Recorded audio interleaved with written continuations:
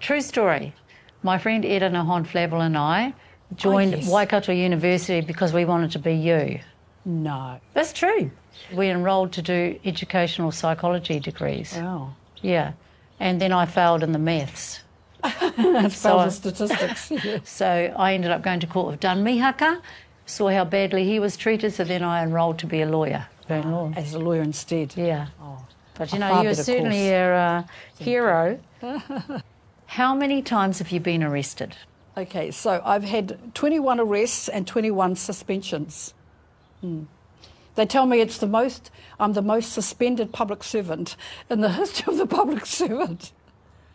You went to Cuba. What happened there? What we did was we met people there who were really seriously oppressed, like the Palestinians, and we met um, the survivors of a group of Palestinian women who were hijackers. And their commander, who was a colonel, she was the last hijacker still alive.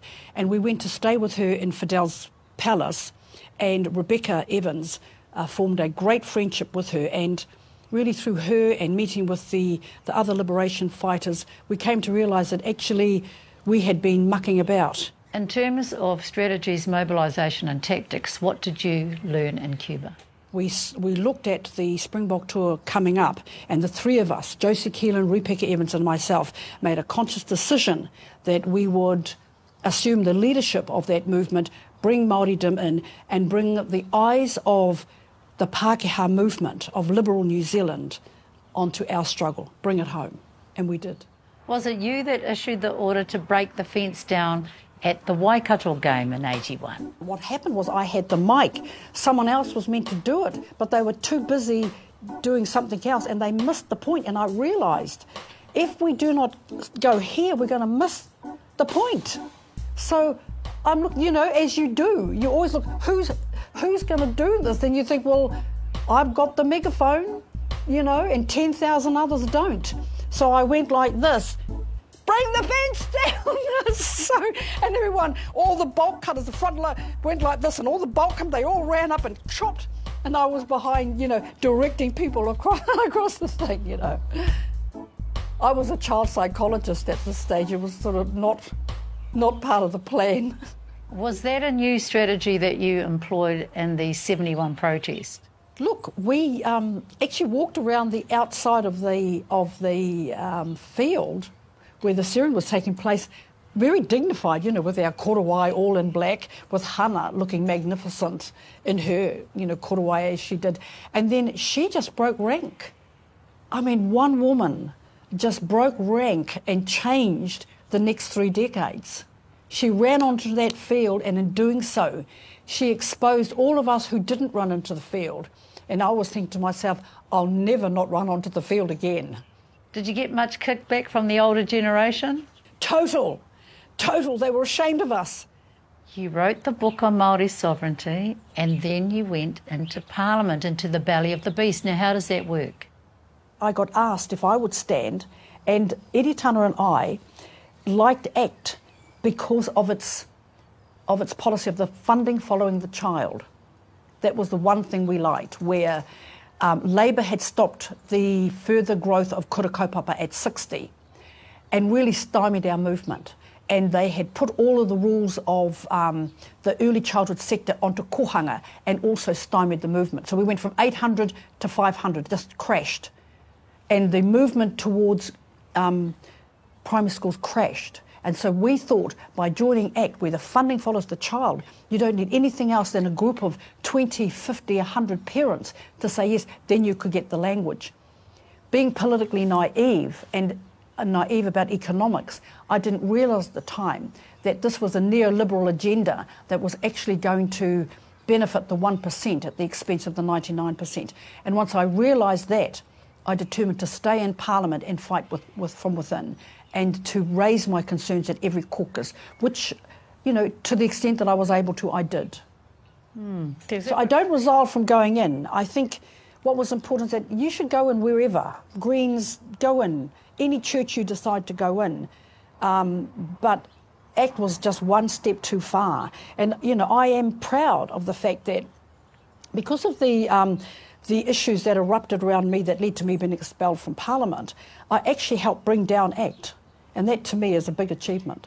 What was the big lesson you learnt after being in Parliament? Did it change your thinking or did it reinforce what you already knew? It, rec- it what it did was it really brought home to me um, the fact that it was designed Pai Pākehā as a as a as an instrument of imperial power, and that its sole purpose was colonisation. There's been some criticism that the protests are all a little bit too nice. How do you think we're going now? I'm proud of them myself. You know, I think that um, they are who they are. They are super intelligent. They are hugely well briefed. Um, they are, you know, precisely articulate. Um, you know, they command both languages, and and they're beautiful. And so they are just being who they are, and that's all they have to be.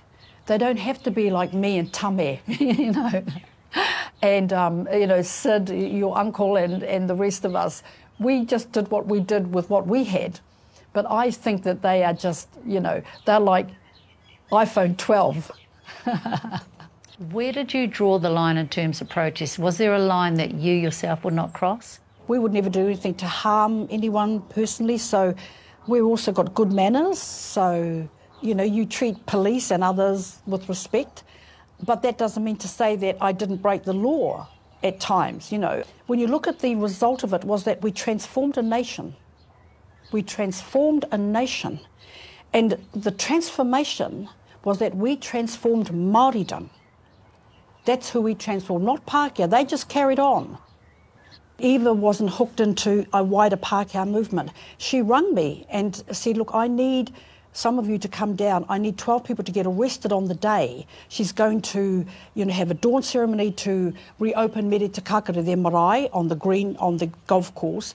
And um, the police would come in and at 12 o'clock, the old people would finish their ceremonies and then we young people from Auckland would move on and then we get arrested. That was the deal. And it, so it was like working the young people who, not that we weren't fearless, we were very afraid, but it was better than us than, you know, our old people do it. So working together, we could bring, um, get the result, which is what we got, which is that golf course has been returned. The land has gone back to those people. I mean, it, it was a stunning victory that was led by um, Eva Rickard, where the old and the young worked together. We had the same thing happen in the Springbok tour where um, Pekka and I went to visit the gangs, Black Power, Mongrel Mob, and asked them to be our front line in our groups, and they did. Activism has been changed now with the advent of social media. How has that transformed the political landscape? Extinction Rebellion is an international phenomenon, and those are social media. You know, even the um, the Arab Spring that toppled governments was a phenomenon. So we're rolling with the times, and you know, it, it's a good thing What's, where it's not a good thing is where many people come to rely on it as reality. It's not real until you turn it off and march out that door. That's where you, participation is where the body goes, not just the eyeballs. That's the challenge. When you look at activism, what is the spectrum in terms of the protest landscape?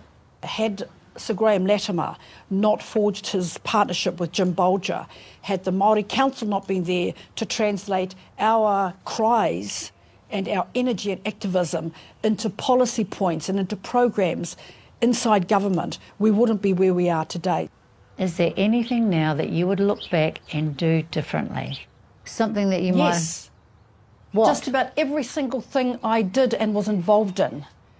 Um, I look back and think, my goodness, we could have done it better. Um, but the movement doesn't lend itself to reflection and to self criticism. What is your advice for today's activists? Pick the issue that means most to your heart and to our people, that you judge is going to make the biggest difference for you as an individual.